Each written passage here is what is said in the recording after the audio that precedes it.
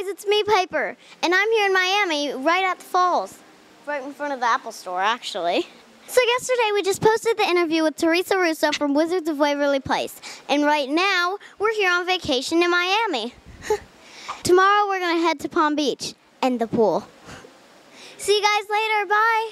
Oh, and if you haven't checked out the Piper's Pick Silly Bandz, check them out on sillybandz.com. I'm on the front page. Piper out.